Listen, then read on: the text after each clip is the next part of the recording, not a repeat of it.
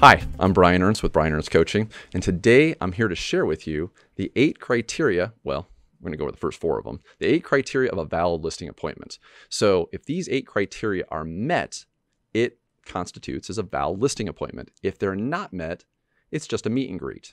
There is a difference in this. These eight criteria can help you be best prepared for listing appointments to get it if you want to get that listing.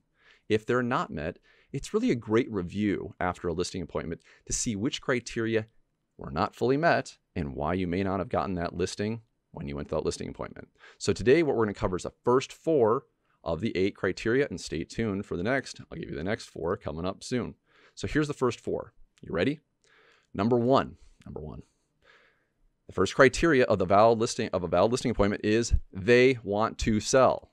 Number 1 is they want to sell. They don't want to just, you know, get a value on their home because of refinancing and their lender said, call your local real estate agent. No, they want to sell. Number two, you've collected enough information to do a ballpark market analysis. So you've collected enough information to do a ballpark market analysis. I teach one step, one stop listing appointments. Number three, three, three, three, you've asked them how much they want for their place, how much they want, how much they want to sell it for, how much they want to net, You've asked that question. Number four, you've pre qualified them over the phone to make sure that they have the ability to sell and you're talking to the right person. Sometimes I talk to the family members that actually don't have the right to sell a property. So, those are the first four of the eight criteria of a valid listing appointment. They want to sell. You've collected enough information for a ballpark market analysis. Well, you've asked how much they want and you pre qualified them over the phone.